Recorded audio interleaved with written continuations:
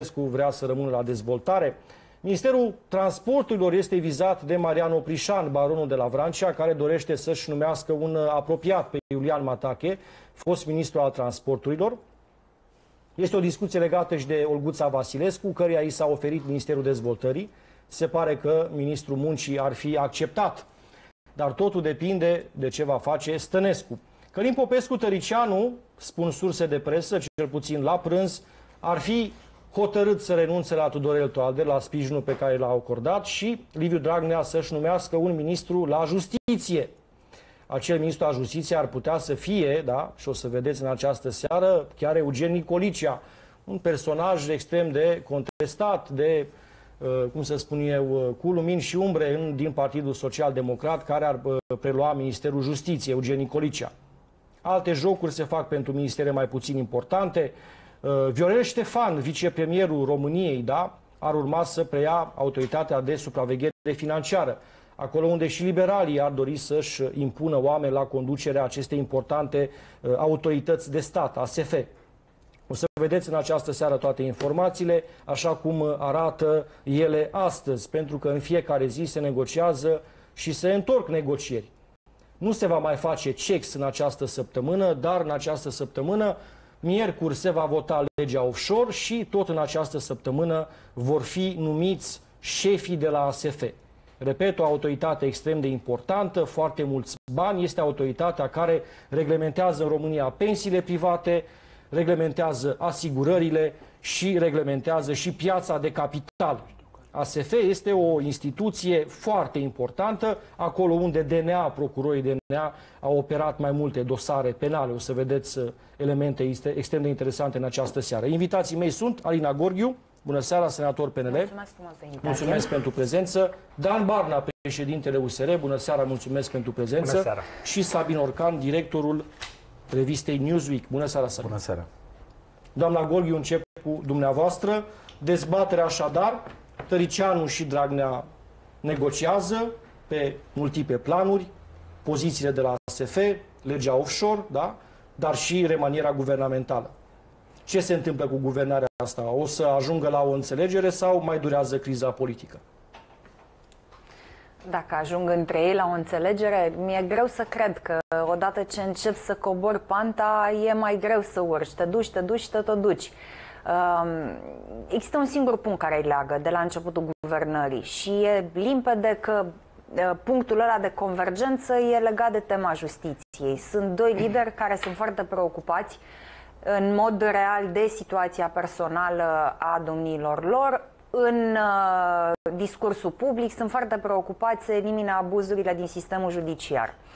Pe de altă parte, Uh, luna de miere dintre Dragnea și Tăricianu, dintre cei doi domni, s-a terminat de foarte multă vreme și vă spun ca uh, senator liberal care observă ce se întâmplă la nivel de comunicare cu uh, colegii din majoritatea parlamentară.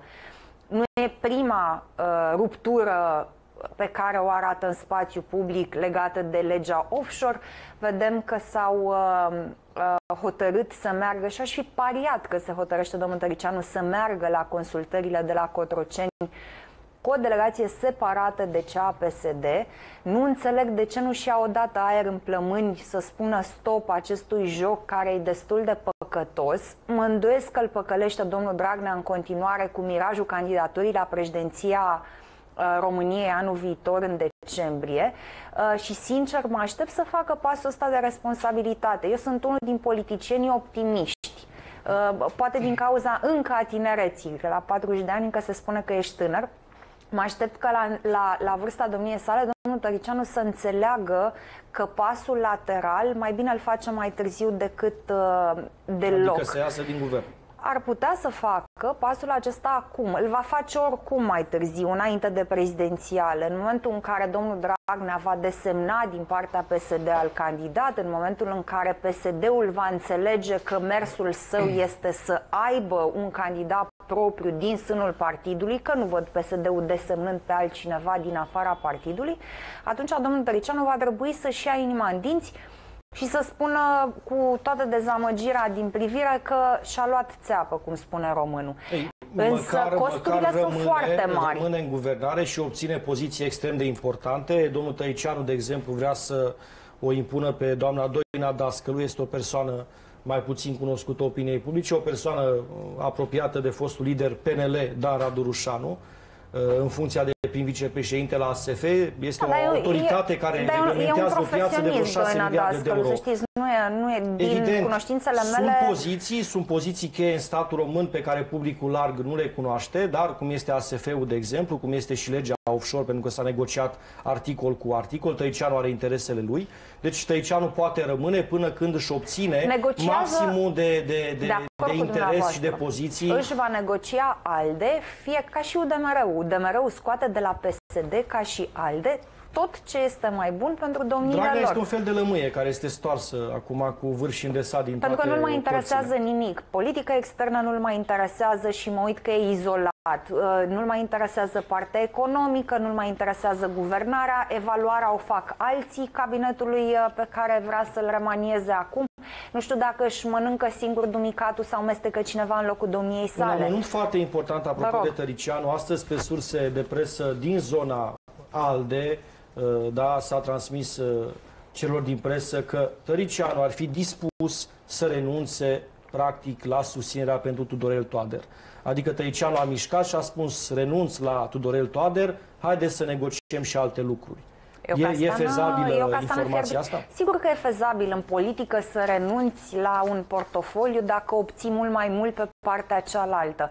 Acum depinde cât de moral e trocul sau cât de etică e negocierea cum vorbim de cele două personaje, cred că putem să scoatem cuvintele etic-moral uh, din calcul. A fost o negociere, sunt absolut convinsă că vor urma și altele. Ce știu de la colegii ALDE din, din Senat este faptul că vor să-și conserve portofoliile, știu că ar vrea să discute despre aceiași ministeriabili pe pozițiile pe care le au în acest moment și, evident, să își pună uh, punctul de vedere și despre uh, deficitul de imagine din alte portofolii pe care PSD-ul le, le are în acest moment, de exemplu, domnul Andrușcă, uh, faimosul domn Andrușcă, căruia am vrut să-i pun și eu la moțiunea simplă uh, în Senat o întrebare și cei din PSD aproape că îl țineau așa cum îl ține fizic pe domnul Orcan să nu răspundă. Păi nu cred că putea, Dânsul, nu, nu cred că deci putea. vă rog să mă credeți, mai aveau puțin și puneau leucoplaz la gură ca să nu trebuiască să scoată vrăbiuță, porumbei și alte... Domnul Andrușcă uh, poate să răspundă doar în scris prin intermediul consilierilor. Da. Nu? Era și Șerban Nicolae ar fi răspuns atunci orice, numai ca să nu vorbească domnul Andrușca. Domnule Barna, asta glumeam înainte de emisiune și cu Sabin Urcan. Va pleca probabil Tudorel Toader, după cum arată informațiile astăzi, marți, uh, dar s-ar putea să vină Eugen Nicolicea sau poate cineva de factura lui și s-ar putea ca glumele noastre din studio să nu fie, adică să cam amuțească glumele și să intrăm într-o fază urâtă, tristă chiar. Bun, această remaniere care este avută în vedere are două, două componente. Odată trebuie să, trebuie să dăm un mesaj de orice fel, disperat de fapt, către Comisia Europeană și, uh, și mediul extern uh, asupra faptului menționat deseori că România nu poate să intre, să preia președinția Consiliului cu această garnitură de miniștri nu e doar domnul Andrușca, el da, este o veste proastă, s-ar putea să fie mai proastă. Da. Următoarea garnitură de săptămâna viitoare s-ar putea să fie mai de acord. proastă. Dacă vorbim de Olguța Vasilescu la dezvoltare și dacă ajungem să vorbim de domnul Nicolicea ca ministru al justiției, da, lucrurile arată și mai rău. Și tocmai de asta spun, în așteptarea că România va, va avea un moment de responsabilitate, președintele Iohannis a spus astăzi la a spus astăzi în declarația sa de 5 ori cuvântul responsabilitate, E, așteptarea aceasta s-ar putea să se, tra- se încearcă de către Liviu Dragnea să fie folosită ca o oportunitate să-și ducă la capăt este într-o disperare extraordinară în momentul de față. Pentru că Tudorel Toader, și noi am depus o moțiune de, cenzu- de o moțiune simplă chiar ieri împotriva domnului Tudorel, Tudorel Toader, tocmai pentru ordonanța aceasta care are efecte N-ați profund nocive. împreună cu PNL-ul? Ba da, ba da. Și e, aceast, Tudorel Toader se pare că a rezistat cumva la așteptarea la Sfântul Graal pe care îl caută Liviu Dragnea, amnistia și grațierea. Și într-adevăr, dacă vorbim de domnul Nicolicea... Păi este greșit, trebuie să-l ajutați să rămână. Dacă Tudorel Toader i s-a opus lui Dragnea pe amnistie și grație, trebuia ajutat să rămână. Mai este un Poate aspect vine în Nicolicea secvența și atunci aceasta. știți că urmează bomba atomică, Mai nu? este un aspect, în- un aspect în secvența aceasta. Schimbarea miniștrilor nu se poate face fără acordul președintelui României. Și eu sunt foarte convins că un personaj de genul uh, lui Eugeni Colicea nu va trece niciodată de președintele Iohannis. Aici este o nuanță. Dacă a- modifică componența guvernului în Parlament, domnul Iohannis doar se uită. Dacă se va Dacă modifica schimbă și ministru cu structura, ministru, da, dacă merg se la va modifica Iohannis. și structura guvernului. se va Dar și, în, modifica și asta e structura. important, și în Parlament, că asta spun, Liviu Dragnea devine tot mai izolat. Dacă ne uităm la propunerile acestea de înlocuire, de eliminare a lui Paul Stănescu, acelea, asta arată de fapt că și PSD-ul din PSD a început să plece plăci tectonice și Liviu Dragnea rămâne tot mai izolat cu gașca de fidel din jurul domniei sale și nici stabilitatea parlamentară nu mai este și știți asta la fel de bine Ridicat ca la mine. guvernare. Dragnea, să știe telespectatorii, este supus în momentul de față presiuni la interne majore. 4-5 șantaje, uh, cum să spun eu, uh, în- uh, Politice. în acela, politice în același timp, da? Gruparea lui Țuțuianu, Firea, uh, Stănescu îl șantajează din interiorul PSD, Tăricianu îl șantajează din alianță pe legea offshore, pe numirile la ASF, dar și pe pozițiile guvernamentale și în partea cealaltă există și presiunea celor de la UDMR, Sabin Orcan, cam toată lumea trage de, de Liviu Dragnea și vrea hălci din guvernare. Da, aproape Da. că uh, ar trebui să ne fie milă. Aproape că ne dă o Dar lacrimă. Dragnea, dacă Dar n-am să nu ne ști, dea o lacrimă. dacă n-am ști cum face el uh, țândări statul de drept și democrația în România. Nu, eu mă amuzam înainte de emisiune cu tine, uh, în pauza noastră de țigară dinaintea fiecărei emisiuni, pentru că, doamne, niciodată nu ne așteptăm că poate fi mai rău. Adică după ce am văzut-o pe Dăncilă, am văzut-o pe Carmen Dan, l-am văzut pe Andrușcă, nu l-am și auzit pe Andrușcă, fiindcă e greu ca el să articuleze mai mult de 5 cuvinte. Uh, Tudorel Toader, care este o catastrofă după părerea mea, nu credeam că poate fi mai rău.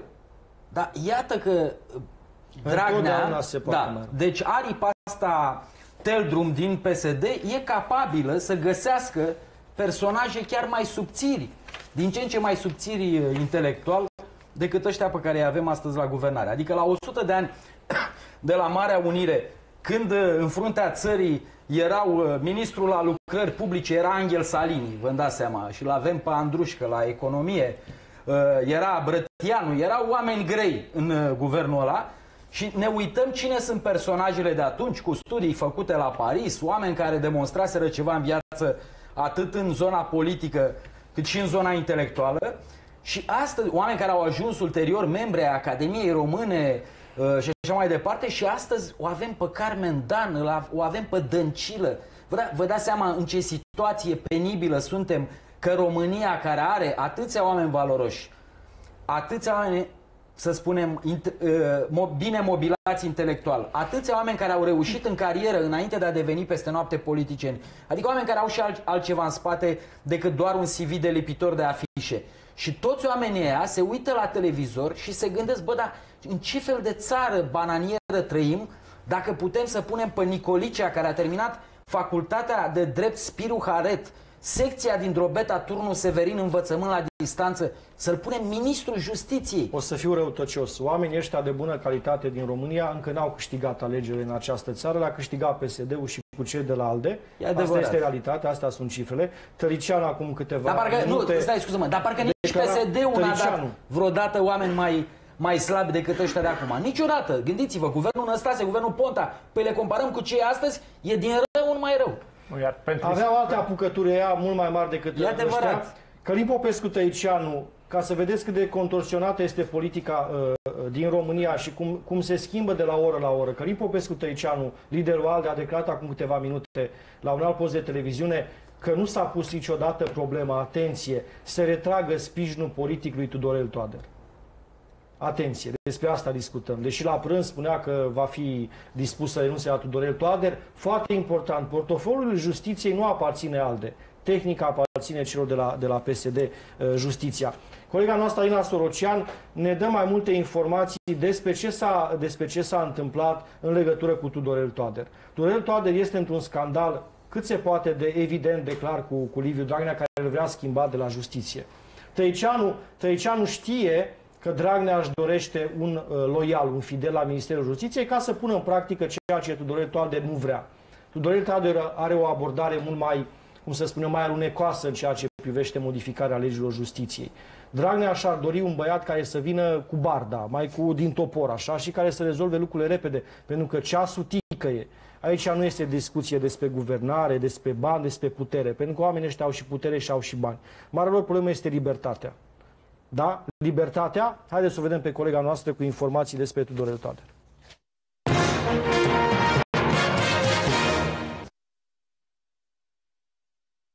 Bun găsit, potrivit unor surse, Liviu Dragnea l-a convins pe Călim Popescu Tăricianu să nu-l mai susțină pe Tudorel Toader pentru funcția de ministru al justiției. Liviu Dragnea este nemulțumit de prestația lui Tudorel Toader pe legile justiției, pe ordonanța privind legile justiției și raportul Comisiei de la Veneția.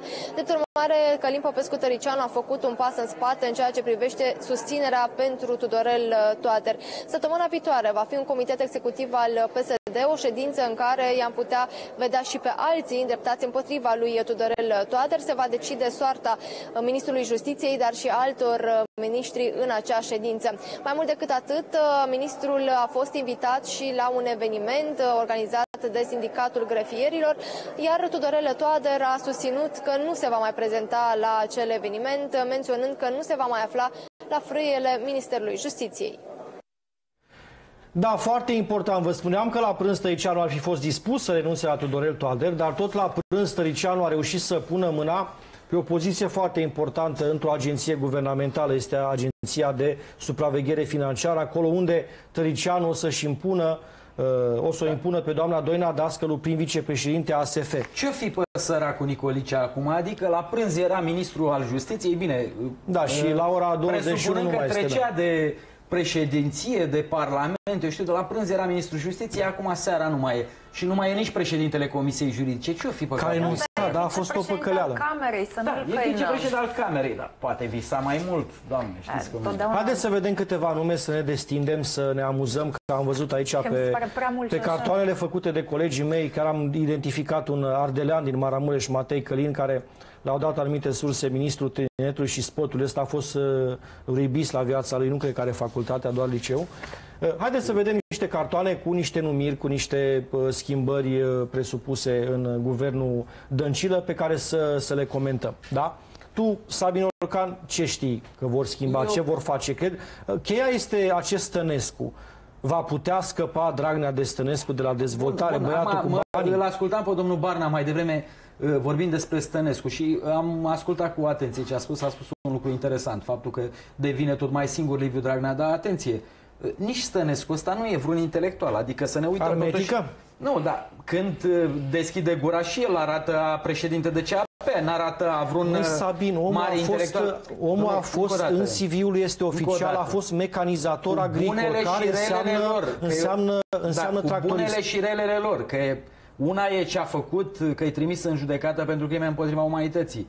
Iliescu, ă, chiar și foști activiști comuniști care au ajuns, gen Cosmâncă, lideri în PSD la un moment dat, Năstase, domnule, ăștia erau oameni care în primul rând știau să vorbească. Nu spuneau prostii când deschideau gura. Oamenii ăștia, nu știu, s-a dus de la sapă, domnule, de unde s-a dus ăștia miniștri? Pe, pe cuvânt acum. De unde îi mai racolează? Iar Stănescu motiv... a avut o fermă la Vișna, într-o comună este din ce Olt. spunea mai devreme domnul Barna, devenind tot mai singur în PSD, da? Dragnea nu mai are și, și așa, și înainte oamenilor era rușine. Știți că a fost la un moment dat o perioadă în care nu găseau ministrul la educație? Păi era rușine profesorul universitar din România, ăia serioși, să zică cum să mă duc ministru în guvernul Dăncilă. Domnule, era rușine. Se pare că doamna Ecaterina Andonescu a depășit rușinea asta și va accepta poziția de ministru al educației. Partea că vorbeam de centenar, dacă o să privim, dacă am putea privi de peste 50 de ani în viitor înapoi, cred că va fi super distractiv, că o să spună 100 de ani de Românie, ce guvern am avut. Și serios, guvernul Dăncilă pare un guvern caricatură. Adică zici că suntem la revista Urzica din perioada comunistă în care au caricaturi acelea stângace, necolorate, da, cu un pic șarmante. Trei sferturi în actuala guvernare este exact caricatură a defectelor cele mai profunde pe care le găsești în nu știu, natura umană, că deja nici nu, ai, nu mi se pare că Și dacă de, de fapt asta este expresia societății, dacă așa arată România de fapt... Nu este adevărat și știm nu foarte are. bine, în condițiile în care avem la măgurele un laser care este la vârful tehnologiei mondiale, cu foarte mulți profesioniști români Nu aceasta e fața Dar României. oamenii ăștia n-au ieșit din neant. Oamenii ăștia au fost aleși, nu? Au câștigat puterea. Cine, României. i-a ales? Cine l-a ales pe Andrușcă să Nu fie știu, ministru? Oameni, nu, 20% ceea ce au votat românii din români. a fost Românii o, au o votat o fantezie idee. de program de guvernare cu grafice colorate. Niciun român n-a votat Și pentru cum ceea ce facem face ca Liviu românii să nu Dragnea mai România. voteze fantezii? Venind cu programe consistente și coerente, USR va veni la finalul acestui, acestui an, undeva în luna decembrie, noiembrie-decembrie, cu o viziune de Românie pentru competență și profesionalism. Pentru că, până la urmă, despre asta e vorba. Noi cerem și, și cum prin inițiativa Fără Penal și prin inițiativa Oameni Noi, acum în desfășurare, cerem implicare cetățenilor. Exact din perspectiva aceasta. Vechea clasă politică, PSD, ALDE, baciști, cei care conduc acum România, arată o epuizare efectivă. Adică toți ne întrebăm, cel mai mare partid din România, sute de mii de membri declarați și resursele pe care le au în jurul Liviu Dragnea sunt Andrușcă, sunt, chiar îi spuneam domnule Anton Anton, ministrul energiei, ieri USR l-a invitat la ora ministrului să ne explice despre legea offshore, pentru că, în mod paradoxal, pe legea offshore, guvernul este de o serenitate remarcabilă, adică habar n-au despre nimic. Știți cum e asta cu oameni noi în politică? Și spuneam, Dumneavoastră la dați-mi USR ideea asta. aveți oameni care fac Și afaceri cu spuneam, statul? uh, Și spuneam domnului Anton Anton, ministrul energiei, că e printre puținii miniștri la tribuna Parlamentului care au reușit să aibă un discurs coerent și inteligibil. Anton Anton? Ministrul energiei. Dar la întrebările despre offshore a fost uh, cumva discursul a rămas același. Ce, Păi, dar dânsul e nu știu, profesor de mecanică a fost- fluidelor, a e fost complicat chiar un cu element gaze. hazliu spunând guvernul, deci ministrul energiei spunând nu e o lege a guvernului, e o lege a Parlamentului. Ca și Evident. cum guvernul, care este responsabilul executiv al României, n-ar fi perfect legitim să aibă un punct de vedere consistent. Adică noi l-am- noi l-am întrebat foarte simplu. Bune, care e mărimea zăcământului? Care sunt cifrele estimate? Care sunt investițiile pe care le aveți în vedere? Ce câștigă statul român? Deci, datele acelea pe care le așteptam toți ca să putem avea o dezbatere. N-am primit niciun răspuns. Au colegii o idee apropo de oameni noi uh, în politică, un subiect pe care îl reportăm în această seară, trebuia să, să-l prezentăm acum două, trei zile. Uh, Haideți să vedem datele, pentru că într-adevăr e o discuție mare în societate. Evident că cei de la PSD vor pleca din această guvernare mai devreme sau mai târziu. În 2020 o să vină o, al, o altă alianță de guvernare, probabil de dreapta. Dar interesant este ce se va întâmpla și important ce se va întâmpla cu țara până atunci, pentru că dezechilibrele astea macroeconomice, oamenii ăștia împrumută în fiecare lună miliarde și miliarde de euro, da? se împrumută, măresc salariile din, din, zona, din zona publică și pensiile și cineva va trebui să ne plătească toate lucrurile astea sau să deconteze această guvernare irresponsabilă, care de 2 ani de zile se ocupă doar de justiție și de scăparea unora de, de pușcărie. Pe de altă parte, alternativa, adică venirea unor oameni noi uh, la putere în România, este destul de complicată. Pentru că oamenii ăștia, în mod normal, trebuie să fie votați, dar și oamenii ăștia fac parte din societatea uh, asta românească, așa cum e. Pentru că și presa, și politica, și mediul economic, și administrația centrală și locală, și noi cu toții facem parte din aceeași societate. Nu sunt un, uh, unii români veniți de pe lună, de pe Venus uh, sau uh, uh, din alte uh, sfere, cum să spun eu, uh, mai curate sau mai uh, uh, murdare decât alții. Exemplu de oameni noi în politică. Dacă la nivel declarativ oamenii lui Dacian Cioloș se laudă că vor să aducă un suflu nou în politică, practic lucrurile nu stau deloc așa. Ca orice politician care se respectă și cei din partidul fostului premier tehnocrat se bat pentru contracte cu statul. Este și cazul lui Dragoș Păslaru, a cărui firmă a încheiat în luna iunie a acestui an un contract de peste 200.000 de lei cu Consiliul Județean Brăila. Iar la o asemenea sumă nici nu mai contează că instituția e condusă de un PSD-ist. Francisc Iulian Chiriac, urmașul baronului Bunea Stancu, a bătut palma cu Dragoș Păslaru într-un contract în care omul lui Cioloș trebuie să elaboreze un plan de amenajare a stațiunii Lacul Sărat. IRA, firma lui Păslaru, nu este la prima afacere cu statul. A mai avut contracte și cu Ministerul Dezvoltării, condus la vremea respectivă de Sevil Saideh, dar și cu Ministrul Fondurilor Europene condus de Rovana Plumb. Contractele au existat și înainte și după ce Păslaru a fost ministru în guvernul Cioloș. Da, astea sunt informații uh, din presă. Domnule Ban, am înțeles că sunteți într-o discuție, va fotografia presa cu Dacia Angeloș o discuție pentru liste comune la europarlamentare. Da. E concretă? Are mm, bază discuția asta sau e doar o discuție politică Nu este o Așa de discuție cafenea. politică, Este o discuție firească, normală, în care analizăm cea mai bună variantă pentru alegerile europarlamentare, prima confruntare electorală până la urmă, într-o societate profund polarizată.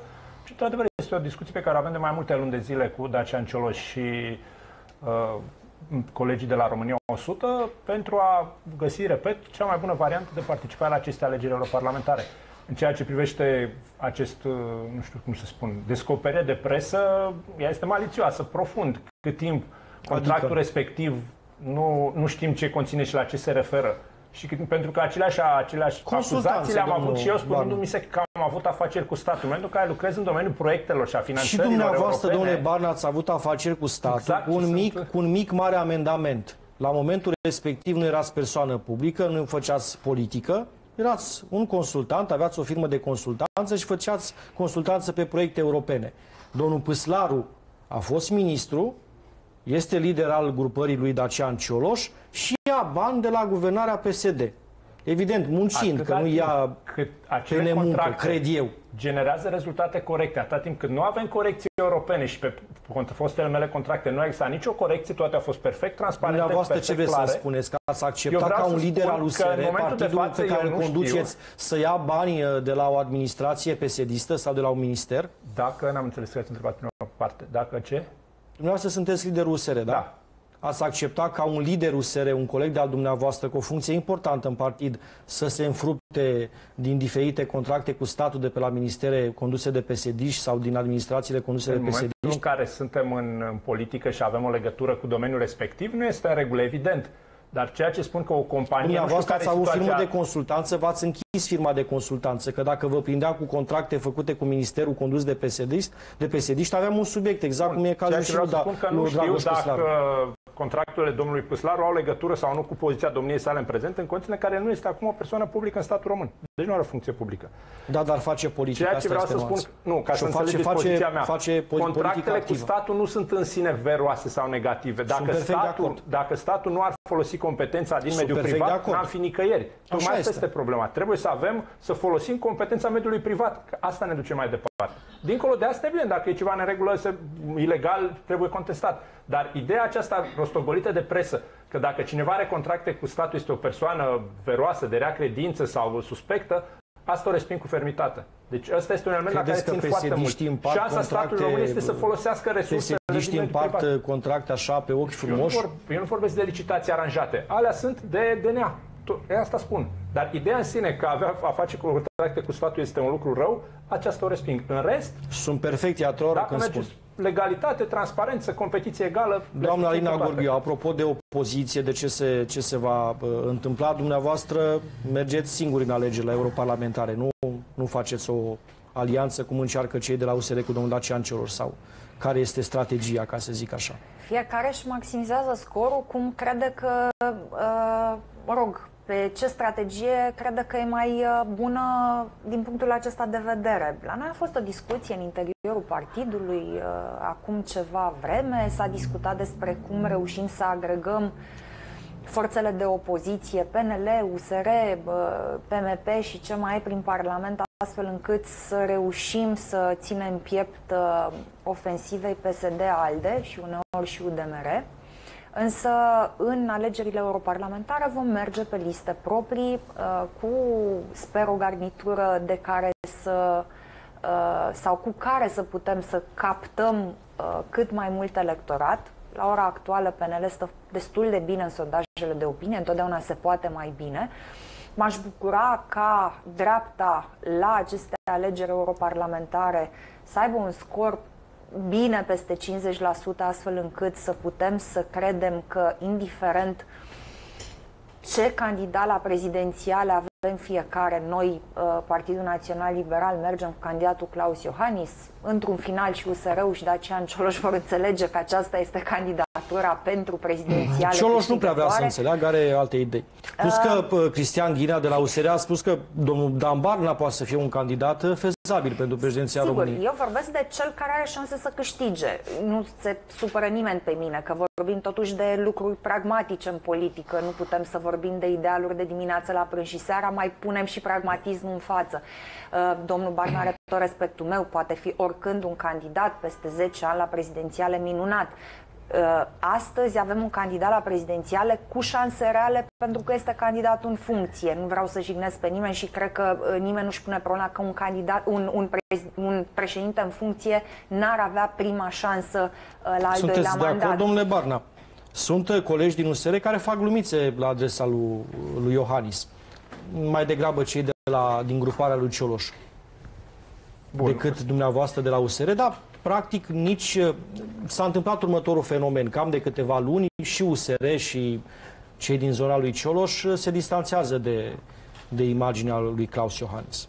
E o percepție sau e o realitate? Chestiunea alegerilor prezidențiale este o dezbatere pe care vom avea după europarlamentare. Pentru noi acum prioritatea sunt aceste alegeri europarlamentare pentru că, în mod obiectiv și societatea este în momentul de față foarte polarizată. Alegerile acestea europarlamentare vor da un mesaj și o previziune destul de clară despre ceea ce urmează să se întâmple.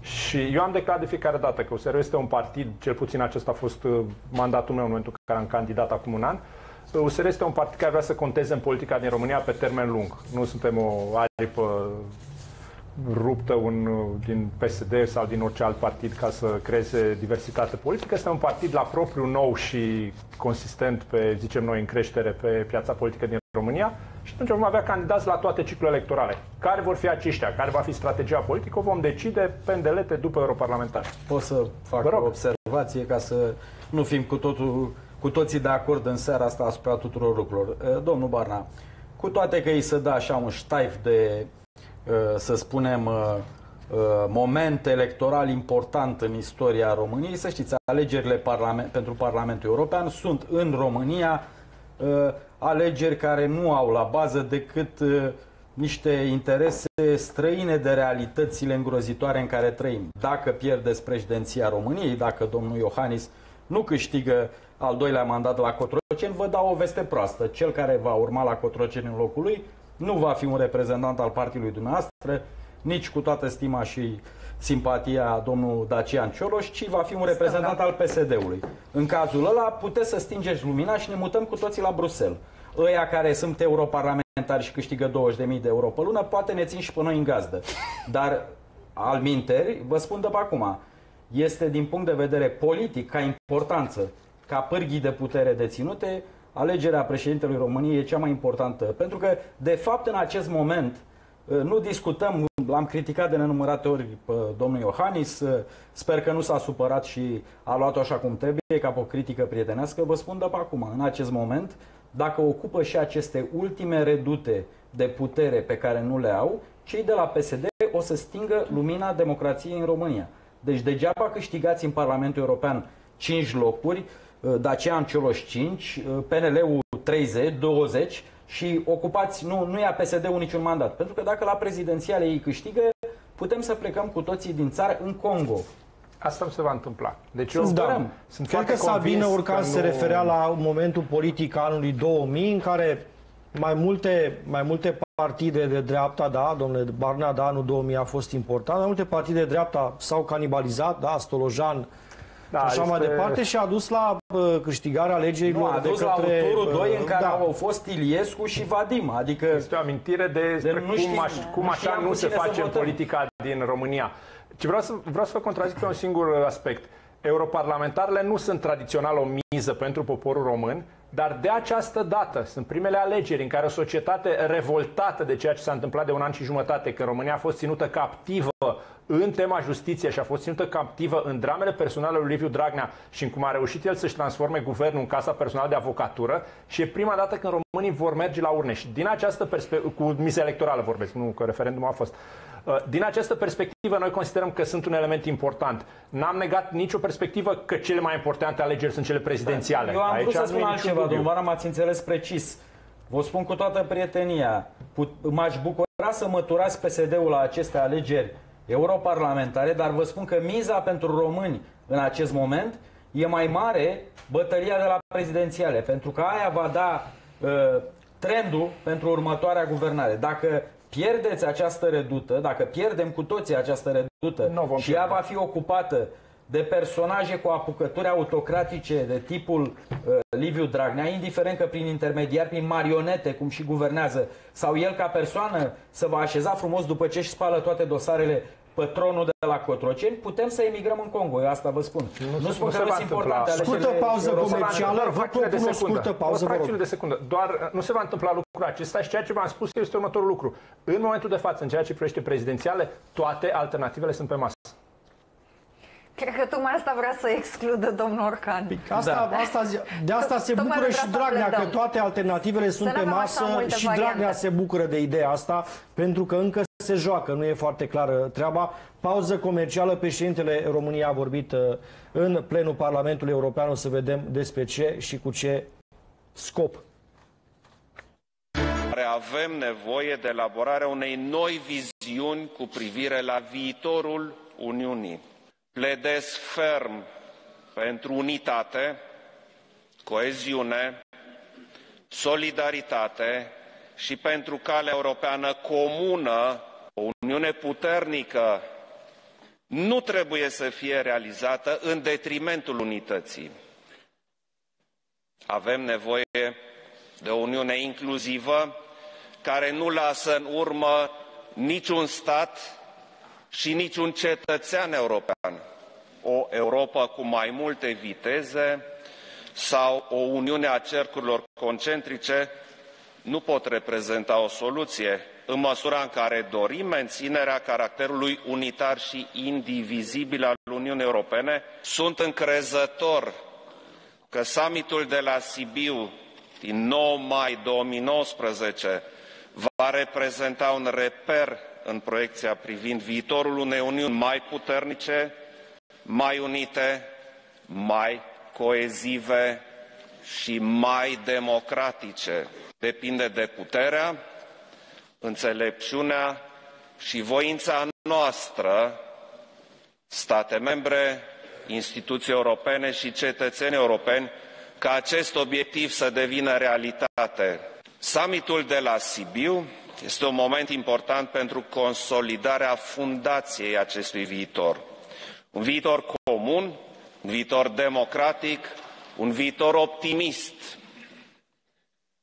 Viitorul Uniunii Europene nu se poate edifica decât cu participarea și implicarea directă și activă a cetățenilor europeni. Niște cuvinte. Da, președintele României în uh, plenul Parlamentului European, uh, o imagine plăcută, mai ales că puțin demnitari ai statului român mai ajung să uh, vorbească sau să fie chemat sau să fie prezenți da. la, la întâlniri importante. Am avut rușinea asta cu Dăncil acum trei săptămâni, da? Noi care nu vorbim la uh, tribuna Parlamentului European, adică suntem mai relaxați aici la tine în studio, uh, Silviu, putem să ne permitem să spunem că nu e cu cercuri concentrice și nici cu două viteze. În acest moment, România și alte vreo două, trei țări din Uniunea Europeană, dar România în mod special și sigur Ungaria, prietenului lui Liviu Dragnea, Victor Orban, uh, România uh, este o mișcare centrifugă. Da? Se îndepărtează de valorile europene cu uh, viteza uh, te- unui tren european, nu a unui tren românesc. Da? Se îndepărtează de valorile astea și este un moment foarte grav pentru că europenii au propriile lor probleme, negocierile cu Brexit-ul, uh, relația cu uh, Rusia lui Putin care devine tot mai agresivă, uh, uh, împărțirea raporturilor de, reîmpărțirea raporturilor de putere după ieșirea Marii Britanii, raporturi de putere politice, dar și economice, între uh, Franța, Germania, Italia. Deci sunt în acest moment în Europa recrudescența partidelor de extremă dreapta. Recrudescența despre care nu se vorbește, că eu văd că se vorbește numai despre ea de extremă dreapta, a mișcărilor populiste de extremă stângă. Uh, Mesajele... Neomarxiști, corect, da. me- mesajele pe care le dau cele două extreme, faptul că ei ajung să reprezinte cu cote importante mișcări politice în parlamentele lor naționale și chiar O să trimită secundă te reprezentanți la întrerup. Bruxelles. Astăzi la București a fost Matteo Salvini, da, liderul... Pe care l-a da, confundat doamna Carmen Dan cu Nu Giuseppe contează, Conte. nu E ok. confundăm. Salvini este un, per, un personaj, un uh, politician italian extrem de coroziv, da, Liga Nord, uh, da, zona ex- de extremă dreapta, explicită. Salvini vorbește despre Juncker, de exemplu, ca despre bețivul Europei în mod explicit. Salvini vrea, chiar vrea să ajungă președinte al uh, Co- Comisiei Europene. Da, încă o dată. Deci oamenii ăștia au propriile lor probleme în Europa. Uh, noi reprezentăm a nu știu câta problemă în Europa și poate că n-au timp să se ocupe acum cu atenție de noi, dar sunt foarte îngrijorați de ce se întâmplă în România, pentru că, repet, din, putem discuta până dimineață despre protocoale, neprotocoale, uh, nu sunt în regulă, decizii ale CCR, ce spune Comisia de la Veneția.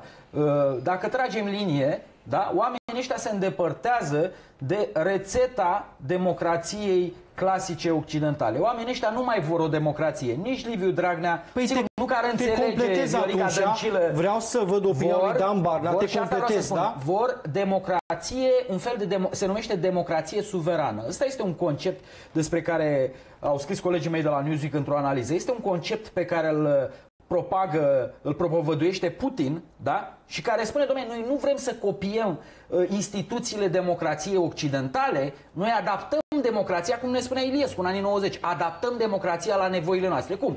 Păi o mai ajustăm așa pe aici pe acolo, uite, mai schimbăm niște legi. Mai vine Nicolicea da, cu, cu mai, cheia, cu cheia mai de 14 la justiție, da? de la președinte, mai facem asta, mai schimbăm aia, mai... și asta e o democrație suverană. Adică mai pe românește, democrație suverană e tot atât de democratică cum era democrația socialistă, da? Adică e doar cu numele de Vreau democrație. să te completez. Dacă europenii au problemele lor, domnule Barna, doamna Gorghiu, rămâne până la urmă în sarcina opoziției din România să lupte cu PSD-ul și cu toate excesele astea. Mai pe românește, europenii au treburile lor, intrăm în an electoral, sunt probleme și în Germania, Angela Merkel are mari probleme uh, electorale acolo și politice și cam rămâne în caz, în sarcina dumneavoastră, da, să faceți ceva cu excesele celor de la putere, nu?